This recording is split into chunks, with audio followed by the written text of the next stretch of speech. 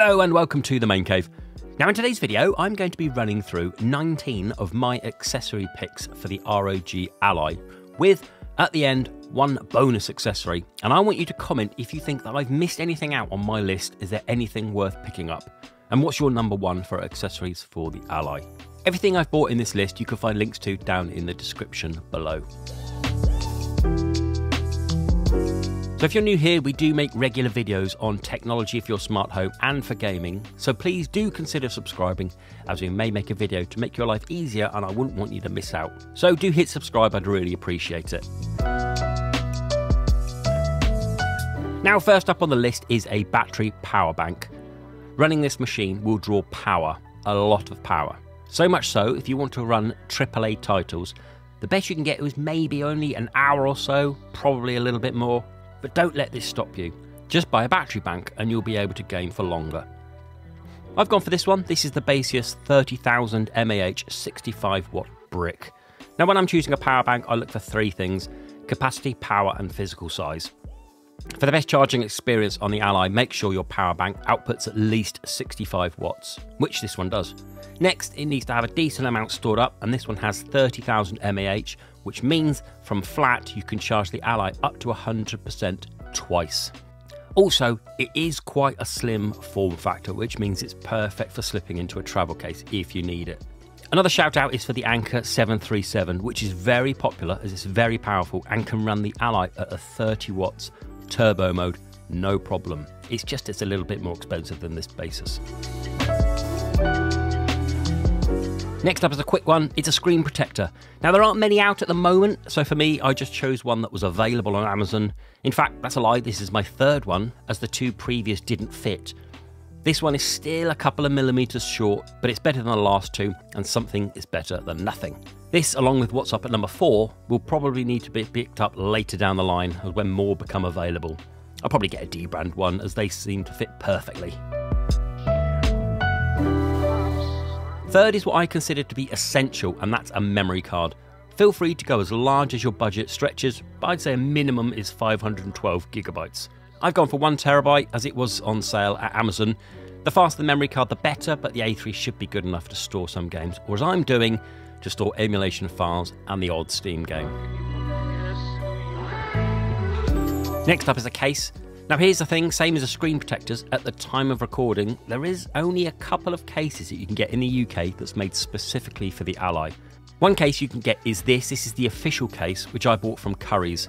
Now, I've bought four other cases from Amazon that state they fit the Ally, and although that may be true, they aren't a great fit. Either too tight, too loose, or the middle flap presses against the sticks too much. So, right now, if you want a well fitting case, the official one is a good option, but I guarantee more will come out if you don't want to spend the money on it. The official case, it looks okay and it has decent padding on the sides. It's decent enough quality material. It has a nice slim storage pouch. The zip feels premium and it also doubles as a stand. Problems are, you can't take much more than the Ally on a small cable in it, and also there's not much protection along the zip. I paid £20 from Currys in the UK for it, and I'm going away soon. I'll most likely take this case with me. Being a Windows machine, take your pick for audio. But for me, I went for the on brand with the official ROG Cetra earbuds. By all means, use your AirPods or if docked, any USB connected headphones will do. But as for the Cetras, I have to say, I'm impressed.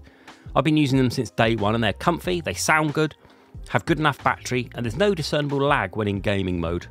Plus, they match the Ally's aesthetics, which is never a bad thing. They live in this AirPod style case to charge and connect to the Ally lightning fast, and they cost me £60 from Amazon, but you may be able to find them in the deal at some point. So, what about docking this to a TV or monitor? Well, there's been a lot of chat on Reddit and Discord about third party docks and the elusive 30 watt turbo mode. If you want to get the full power of the Ally while docked, you need to be seeing 30 watt turbo in the command center, and when people have been using some third party docks, this hasn't quite been working as well. It's down to a few factors, but firmware issues may be one, only time will tell. Fortunately for me, I have a dock here which paired with a Ugreen 100 watt plug, I get the 30 watts turbo. It's from KiwiHome, I'll link to it once it's released in the future as it's not quite out yet. Another option, if you want to get the 30 watts turbo, you can't go wrong with the official dock. It just works. Only downside is that it doesn't hold the Ally app on your desk, so you may need to get a desk stand as well, which I'll talk about later. Also, it really only has one USB and HDMI. Now, if you are using the official charging dock and you want it stood up on your desk, you could use the cardboard piece ROG kindly provide. But if you want more than that to last a little bit longer, then here's a few to consider. Firstly, a cheap Amazon plastic one made for the Steam Deck. It works fine.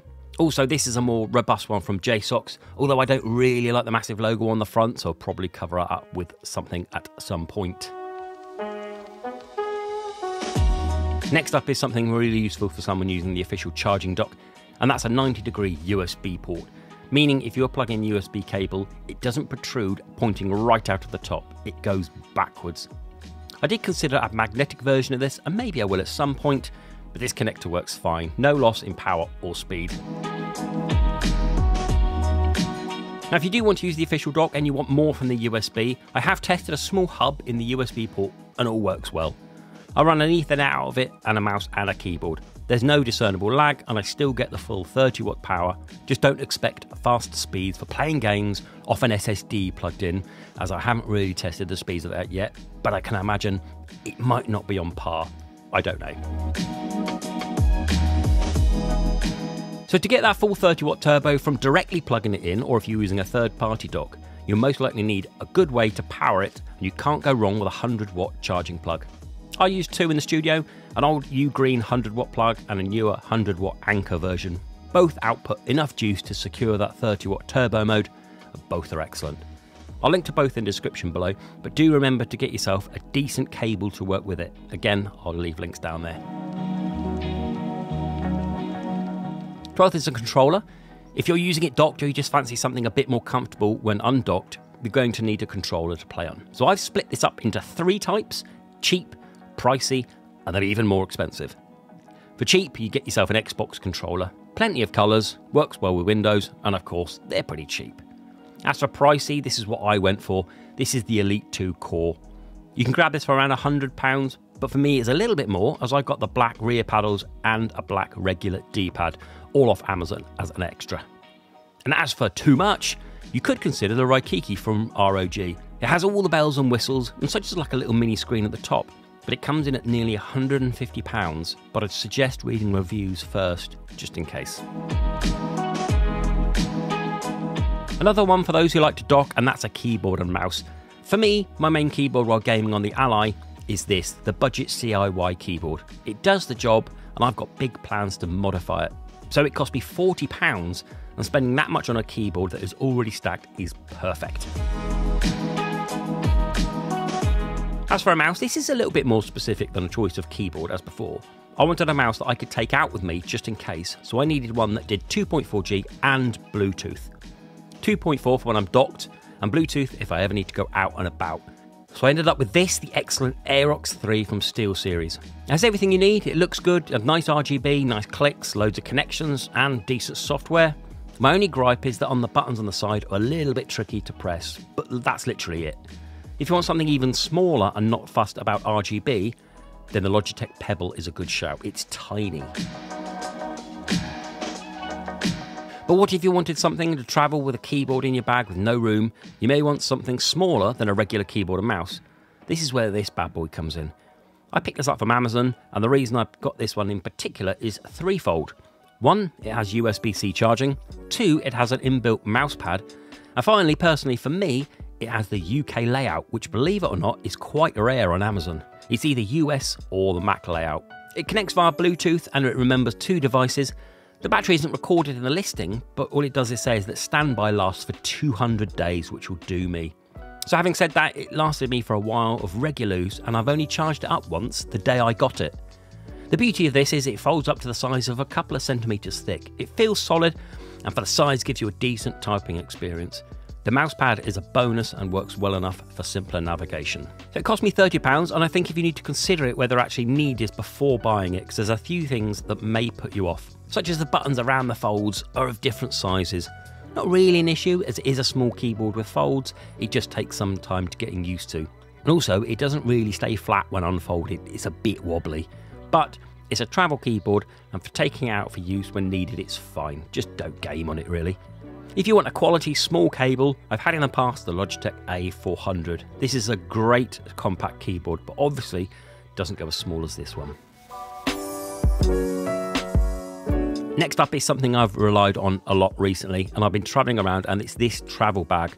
The one I've been using is for the Steam Deck, and it fits the Ally perfectly.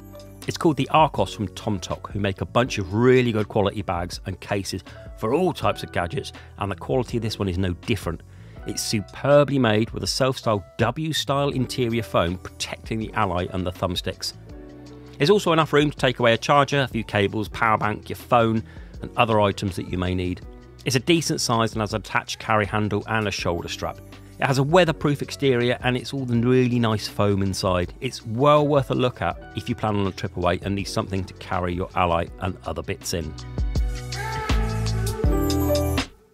So what about thumbstick grips? So this particular one comes in a pack of 20, which includes 10 black, 8 white and 2 blue. Then the ring on the black and white one come in a few colours. I went for white with a black ring. These ones actually glow in the dark and look good, plus the stick makes more grippy and more comfortable and the fit is spot on. Now finally it's these, a set of silicone thumbstick protectors. It's an acquired taste, I appreciate that, but they do prevent wear on the inside of your thumbstick. I have them on every single controller I own, and although they do help, they do feel a bit of friction when turning, so completely understand it's not for you. But for £7 for a set of 10, it isn't going to break the bank if you decide you don't like them. So there we go, then there's 19 accessories for the ROG Ally, but there is one more I want to give an honourable mention to. It's an upgrade to the 512GB SSD that you have installed. You can get an upgrade to 1TB or even 2TB for relatively little money and install it yourself. Apparently, it's pretty easy to do, and ROG linked to how to do it on their website. I may do it at some point, especially as I fill up mine with AAA titles, but for me, this is a perfect for a rainy day. 512 gigabytes really isn't enough, is it? So there we have it then. If you have any more ideas for accessories for the Ally, pop them in the description below so people know what was a good one to get. And I hope you found this list helpful. Is there a bag that you found fits perfect? A case, a cable, anything? Let me know down in the comments below. So that's everything then. Please like, please subscribe, until the next video. Bye bye.